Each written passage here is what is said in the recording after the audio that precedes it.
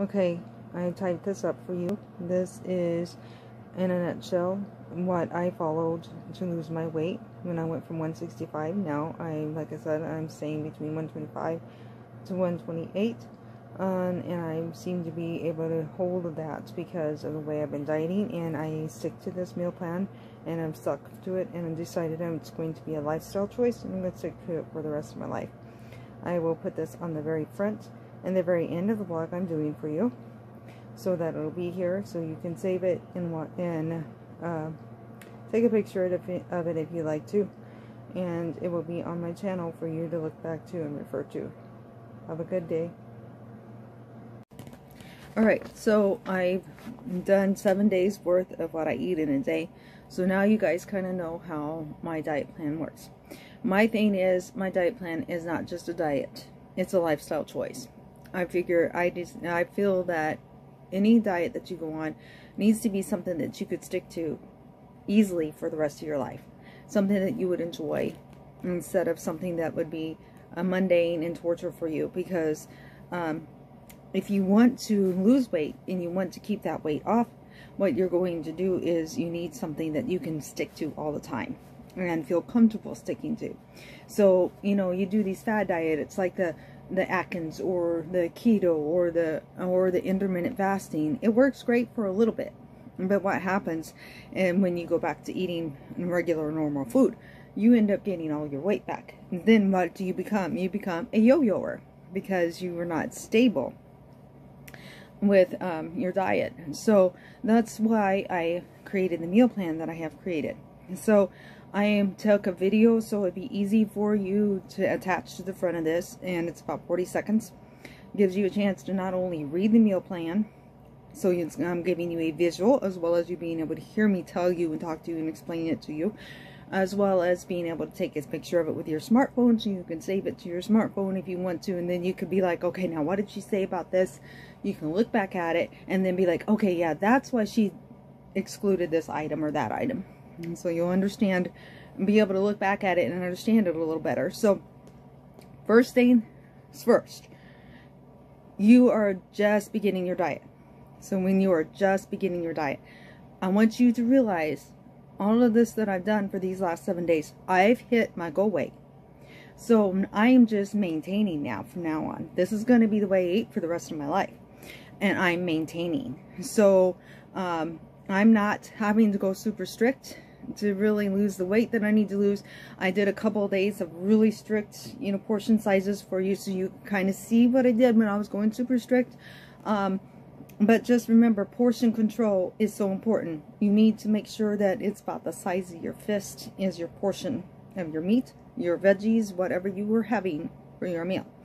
Um, that is one, one, suggestion that is given by a lot of nutritionists, a lot of fitness trainers, that it's about the size of your fist. Okay? So, let's get started. First two weeks to a month, you need to go so strict. Super, super, super strict. And I mean why you have to go so this you have to go so strict that you are detoxing it's like you're detoxing and cleansing your body of all the junk food that you've been eating that has caused you to gain all the weight that you have on you right now that you are wanting to get rid of so you need to detox your body so that means you have to cut out sugary treats sugary drinks very little carbs so that means you are going instead of um, drinking sugary drinks, you're going to have a low calorie or no calorie drinks. Like I like to have my pop, so I like to eat, have drink diet pop. Diet pop works great. Or those now they have those no sugar zero pops. It's great for diabetics as well as ones who are trying to diet and sticking to a strict calorie diet. Okay. Um, low calorie juices is good for you because sometimes it has the nutrition in there that you need. And you need to drink lots and lots of water. And I mean you probably want to have eight full eight ounce glasses of water a day. Um, it's hard to get that in. I know sometimes uh, trust me it's hard for me with my work schedule since I work from 34 to 40 hours a week. It really makes it really tough because I can't just constantly be drinking. Um, so um, but and when you have the water at the beginning you want to add lemon into it do not add any sugar to it just add lemon and shake it up. Lemon juice concentrate is fine as well, or buying the real fresh lemons and squeezing them into your water. Because lemon and water together makes a great diuretic. It helps you lose whatever water weight you've gained. So you definitely want to stick to something like that. Also having coffee. Like I told you, I have mine with Truvia or Splenda. Because Truvia and Splenda add sweetness to it, but it's zero calories. But it also comes from a natural plant base. So it's safer for you than like eating sweet and low or equal or something like that. Okay. So um, I do that in my coffee. And coffee is also a great diuretic if you can get yourself used to drinking coffee. Sometimes you want to do it and try making it in a very weak form at the beginning and get used to the flavor of it. And then you can increase the strength of it. Um, cut out carbs and breads. Natural carbs are okay, like what you would get in protein bars, shakes, maybe potatoes, sweet potatoes. If you have a potato, small potato or sweet potato once in a while with your lunch, um, nuts and beans is okay. Those carbs are okay. But don't go, again, stay away from the sugars. Try to eat no bread. Now, I the, the example I gave you on day seven was no bread. I had no bread with my chicken patty. I cut it into pieces instead and I put it in with my green beans. So whatever bread I had was the breading that was on the actual chicken patty. I didn't add any extra carbs. Okay, so that's what I mean by no bread. I used to do it where I'd have my my portion size of green beans, okay, and I'd have a chicken patty with mustard. Mind you, mustard has zero calories. That's why I use mustard a lot when I'm dieting, really strict, okay? So why do you want to go so strict? Not only I just at the beginning told you for the first month you want to go super super strict. Okay, it's not just because you're detoxing your body of all the chemicals and all the junk food and the fat that's in your system that you need to flush out so that you can get started on a really healthy diet. The other reason you need really strong portion control and to cut out all those things is because your body feeds on that. It's gotten used to you eating that. So you have to retrain yourself. You got to retrain yourself to enjoy healthy things. Fruits, veggies are okay. Um, and that's what the kind of things you want to eat. And so you want to eat things like a lot of fruits, lentils, beans, white meats like pork, fish, chicken, turkey. Nuts is a great snack. Um, baked potatoes are okay. If you are craving chips, veggie straws, nuts, dried fruit. Dried fruit is amazing if you're having a sweet craving. Um, also, um, and so it takes care of your sweet tooth, okay? You have to do this also in portion controls. And I suggest you eat every two hours. So, every two hours. So, like, first you will start out like I do with a bowl of oatmeal and a banana and maybe that smoothie and your cup of coffee. So, two hours later, you're going to have a V8. That's what I like to have, okay? And that you don't have to have a V8. Have something that you enjoy drinking that is low calorie. I cannot stress enough, low calorie. So, two hours later, you have the V8. I'm just giving you an example. Two hours later, you eat your lunch. So you have your protein bar, and I have a protein bar, and I have yogurt. Okay, the next two hours comes up. Okay, when I was dieting really strict, I am a chip eater. So what do I, what did I do? How did I handle that? I had veggie straws or I had a, a, baked chip. But I got them in those little, you know how you can buy those snack packages that you put in your kids' lunch boxes. That's the way I would buy it. And so that way my portion size was already made for me.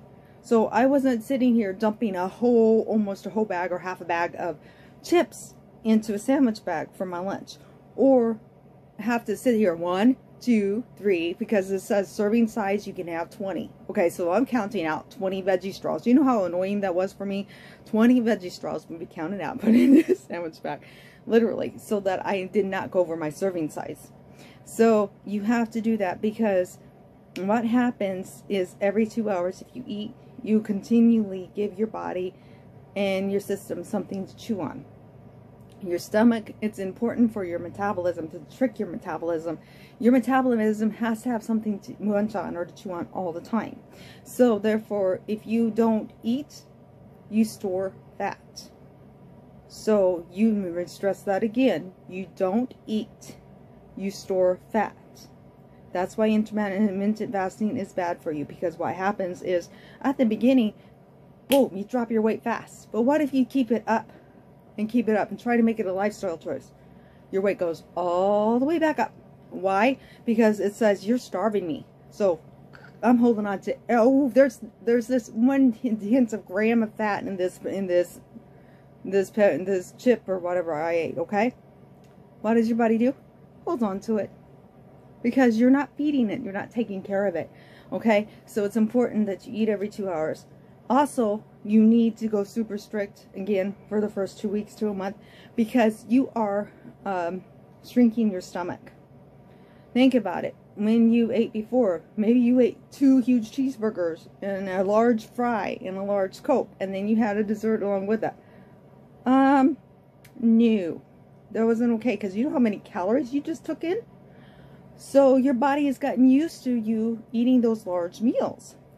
So for the first two weeks to a month, it is the hardest month to get through. And you should celebrate if you get through those two in two weeks to two months. And you are able to handle that because you're going to be hungry. And I'm going to warn you all the time. Because your stomach is this big. Because it's been eating that huge portion size that I just mentioned. So now you're going to have to take your stomach from here to here. So it takes two, two weeks to a month to shrink your stomach. And the first two weeks is the hardest to get through. Let me tell you, I've been a yo-yo. I know. so once you get past that the first two weeks to two into a month, you're doing great. The thing is, when you get um, to your first goal weight. Then you can start introducing things back in very, very slowly. But I mean very, very slowly. You don't want to overdo any of this, okay? You still need to be careful what you're eating and taking in. So the thing that I stress the most when I'm talking to people about dieting is that um, I wrote this down as an example because I thought it was a good one. So let's say you're 300 pounds. You've been taught and trained and been having a hard time getting on, starting on dieting and exercising regular. Why? Because you knew that you're, this was going to probably take you a full year. You're going to have to stick to a strict diet for a full year in order to see the results that you want. So let's say you're 300 pounds. This is just, I don't know. I don't know anybody, I don't think that is 300 pounds right now. But let's say you are 300 pounds. Let's say your goal weight is within a year. I want to step on that scale a year from today. Let's say you start your diet right now, today, after you get off and finish watching this vlog. And from, from day one to a full year rotation, you want to be at 150 pounds. So you go from 300 down to 150. How are you going to reach that goal? Well, here's the thing. Your goal weight every month is going to be 12 and a half pounds. You're going to want to lose 12 and a half pounds every single month for a full year in order to hit 150 pounds by the end of that. So that's why you need a diet that you can stick to and you can maintain. You also have to make sure you are exercising at the beginning, the first two weeks to a month. I suggest you were, says you be working out at least six days a week 30 minutes a day. Six days a week, 30 minutes a day. You can do it. Trust me, it may seem like it's hard. How long, how many, how much time do you sit playing on your smartphone? Looking through Facebook, looking through YouTube, looking through Snapchat.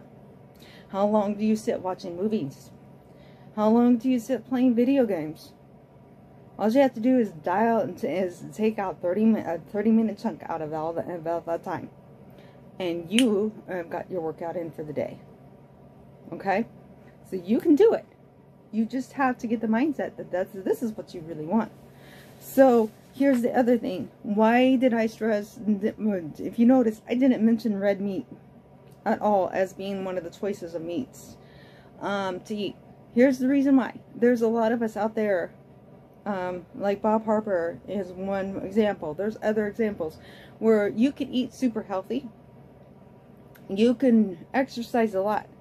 But if it's in your genetics to have high cholesterol as you get older, like in my family, you know, it's in our genetics to end up with high cholesterol problems because my dad's body just naturally made high cholesterol. So he could, he stuck to a super strict um, diet to where he didn't have any cholesterol in his diet. I mean, hardly any, none.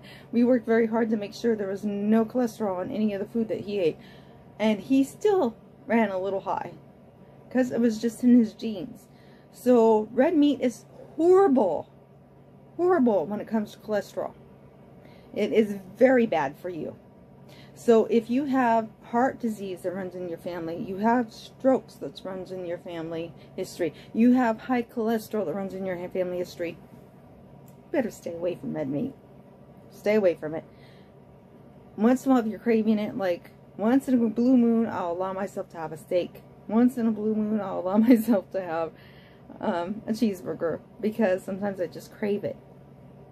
Because red meat is also good for if you're anemic because it's high in iron. So I understand why some people need the red meat in their diet. But don't overdo it. Don't eat red meat more than once a week because it's also very high in cholesterol and can cause the other issues I just mentioned. So that's why I made sure to not mention that.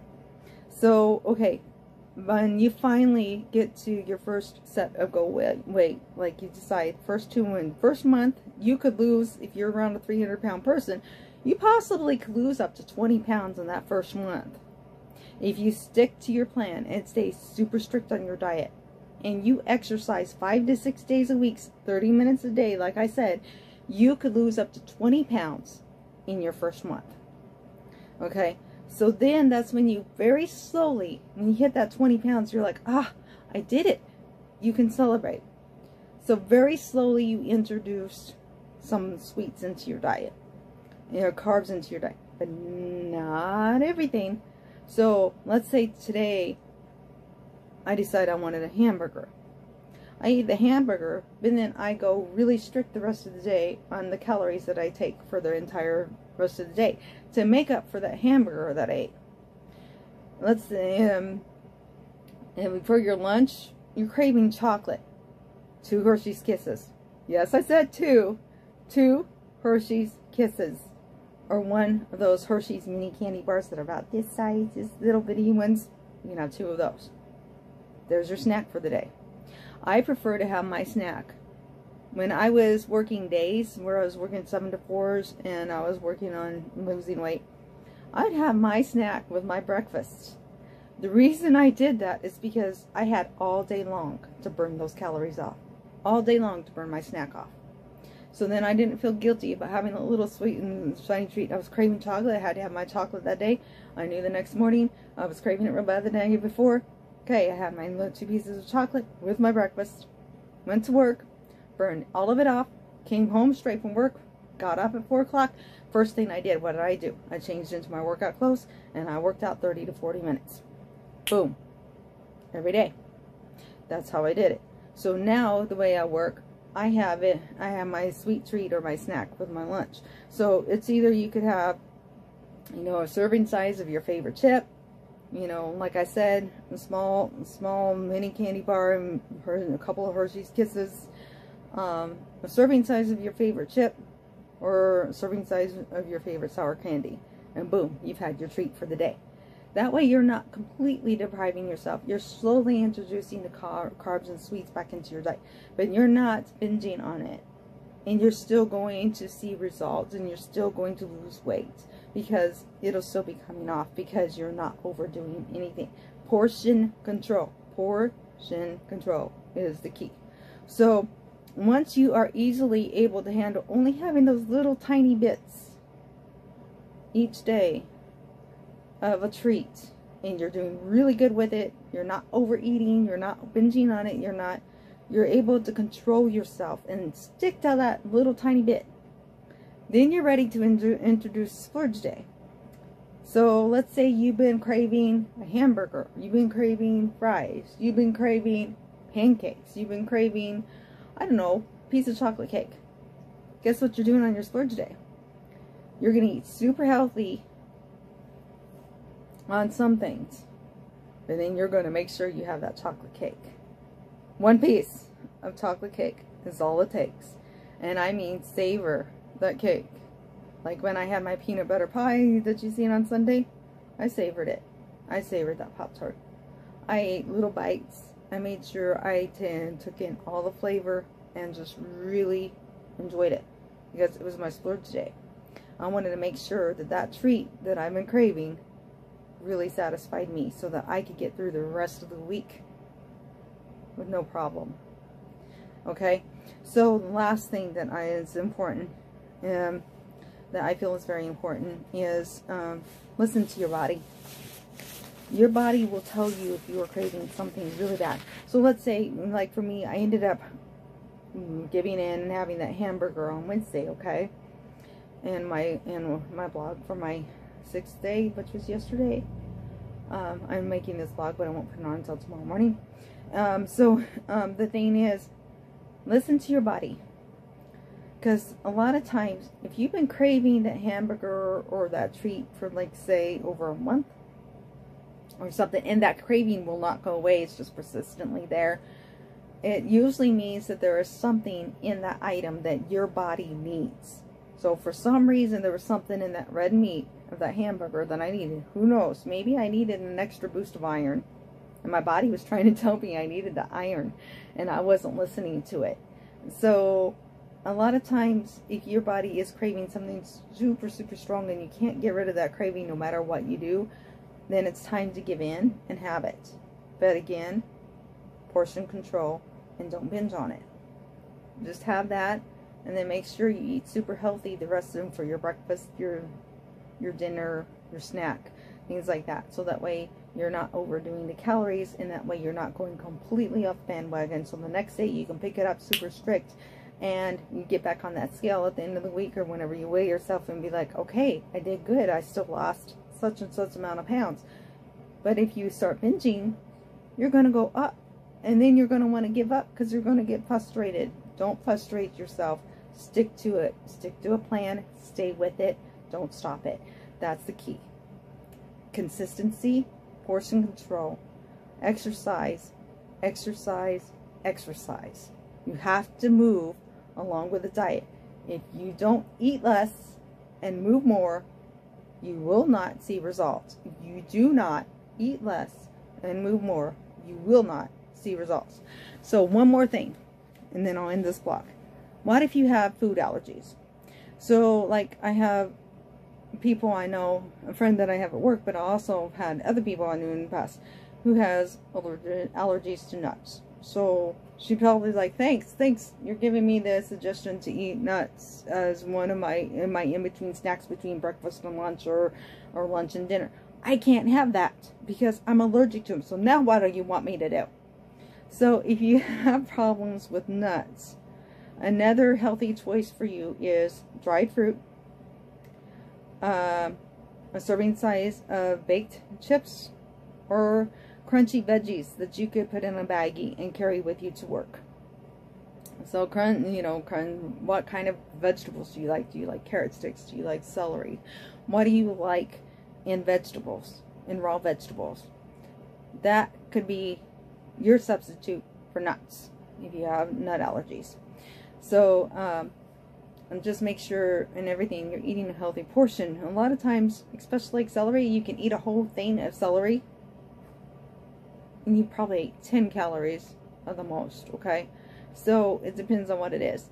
So also, for those who are lactose intolerant, um, you can't get your calcium in the dairy products and eat the dairy products that normally everybody else does. So you are going to want to stick to leafy greens, like dark leafy greens, like kale, um, turnip, uh, spinach, collard greens. If you can stand them, I cannot. Some people love sardines. Some people cannot stand them. I've never tried them. I'm not going to lie. I want to try them one time. I've never had them. So if somebody ever is having them around me and they allow me to try one, I probably will try it because I've always wanted to try them. But I don't want to buy a whole thing of sardines because I don't know if I like them. Sardines is great when it comes to calcium. Uh, you could also eat fortified soybeans, fortified orange juice um, are great for people who are lactose intolerant um, and but need to make sure they get enough calcium in their diets. Um, the other thing is also if to get your protein in. If you're you're a vegan, all of this is perfect for you, including what I mentioned for getting your calcium. Because if you're a vegan, you don't even eat dairy products, okay? So if you're a vegetarian and you're trying to diet, um, and you're having a hard time thinking about protein, well, protein is a little easier if you don't have a lot of food allergies because you can have a serving, portion, serving size portion of beans, nuts, peanut butter, uh, and I personally love, love, love portobello mushrooms. Portobello mushrooms are a great source of protein. If you've ever had a vegetarian hamburger, which I have had once before, um, they usually use a huge, huge, huge slice of a portobello mushroom that's probably about this big that covers the whole entire bun. And that is your meat if you're a vegetarian or vegan. And vegetarians and vegans out there are now shaking their heads. Yes, yes, you're considering doing a, more of a vegan vegetarian diet to lose your weight. Um, and you want to get, if you can, have a portobello mushroom as, as a substitute for your hamburger meat. Um, it's a great source of protein, and it actually, they're really good. So, there's my diet plan for you. So, just please make sure that you keep moving, you keep exercising and eating healthy, and don't give up. Don't allow yourself to give up on yourself because that's that's the worst thing you can do is to give up on yourself. Have a great day, everybody. And don't forget to subscribe to my channel. Check my Facebook page out.